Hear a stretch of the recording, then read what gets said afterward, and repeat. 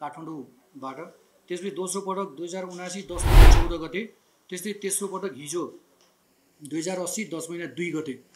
भएको छ किन यसलाई सिक्योर राख्यो भनेपछि यसमा भएका सस्पेक्टहरू यसमा गरेका मान्छेहरू चाहिँ नि एउटै मान्छेले चाहिँ नि यो दोहोऱ्याएर तेह्राएर गरेको पनि पाइएको छ। त्यसैले हामीलाई हामीले चाहिँ यसलाई यो लिमा थ्री भनेर पनि भनेका छौँ।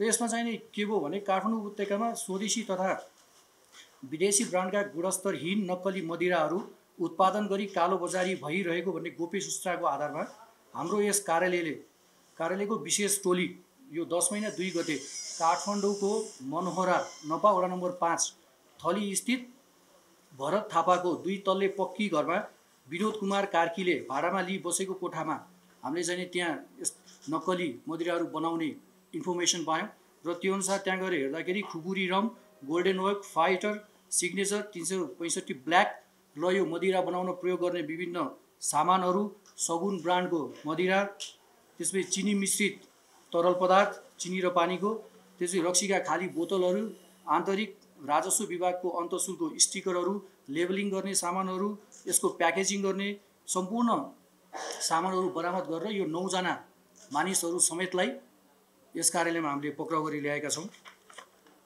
यहाँ पक्राउ पर्ने व्यक्तिहरूमा मनोज खत्री उहाँ उहाँ चाहिँ अहिलेसम्म यो तेस्रो पटक हो। पहिलो पटक पक्राउ परेर पचास हजार धरौटीमा छुट्नु भएको दोस्रो पटकमा फरार हुनुभएको थियो र अहिले तेस्रो पटक हुनुभएको छ। त्यस्तै विनोद कुमार कार्की छत्तिस वर्ष उहाँ पनि तेस्रो पटक हो। दुईचोटिसम्म पक्राउ नपरेको र यो तेस्रो पटकमा अहिले पक्राउ पर्नु भएको छ। त्यस्तै मोहन खड्का हुनुहुन्छ र यो गौरव तामाङ भन्ने उहाँ चाहिँ नि अहिले दोस्रो पटक हो। यस्तो गर्दै यो सम्पूर्ण नामहरू तपाईँहरूलाई आइहाल्छ। यो नौजना हुनुहुन्छ। त्यस्तै यो नक्कली मदिरा बनाउन प्रयोग गरिने सामग्रीहरूमा चाहिँ हामीले के पायौँ त्यहाँ गएर हेर्दाखेरि चिनी पानी मिश्रित तरल पदार्थ। उहाँले चाहिँ यो चिनी र पानी मिलाउने त्यसपछि कालो हुने गरी त्यसलाई पकाउनु हुँदो रहेछ। त्यो पाक्दाखेरि जुन त्यो रमको कलर आउँछ त्यो कालो कलर चाहिँ नि कलर निकाल्नको लागि चाहिँ एकदम पकाउने र त्यसलाई डढाउने गर्नु हुँदो रहेछ।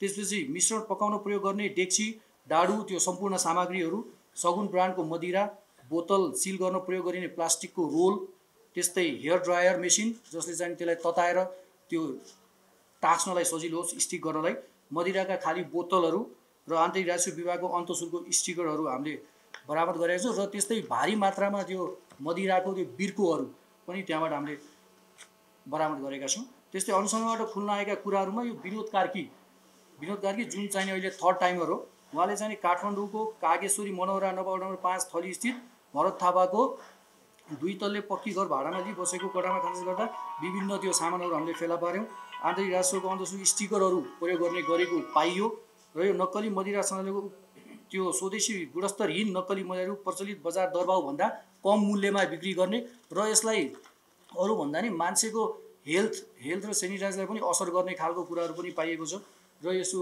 हाम्रो पिक्चरहरू जुन चाहिँ हामीले त्यहाँबाट बरामद गरेको सामानहरू हो नक्कली मदिराहरू। अब त्यहाँबाट त्यो ठाउँबाट हामीले बरामद गरेको सामानहरू खुकुरी रम दुई सय अठासी बोतल त्यो नक्कलीहरू हो। फाइटर प्रिमियम डिलक्स ब्लोन भन्ने नौ सय बोतल त्यस्तै तिन सय पैँसठी days black triple X ninety six बोतल गोल्डेन वेक त्रिसठी बोतल आठ हजार आठ सय अडचालिस भोल्टका अडचालिस बोतल सगुन गोल्ड पन्ध्र बोतल। यो चाहिँ नि हामीले भरि नै बरामद गरेका छौँ र यही खुकुरी रमको बोतलहरू र अन्य बोतलहरू पनि हामीले खाली बोतलहरू पनि त्यहाँबाट फेला पारेका छौँ। र आन्तरिक राजस्वको स्टिकरहरू जुन तपाईँले बाहिर देख्न सक्नुहुन्छ त्यो पनि भारी मात्रामा हामीले फेला पारेका छौँ। र यो सामानहरू कहाँ कहाँ बिक्री भयो कसलाई कसलाई बेचियो भनेर चाहिँ अहिले हामीले अनुसन्धान गरिरहेका छौँ र उहाँहरूलाई पनि चाँडै हामीले पक्रनको लागि हामीहरू लागि लागि परेका छौँ।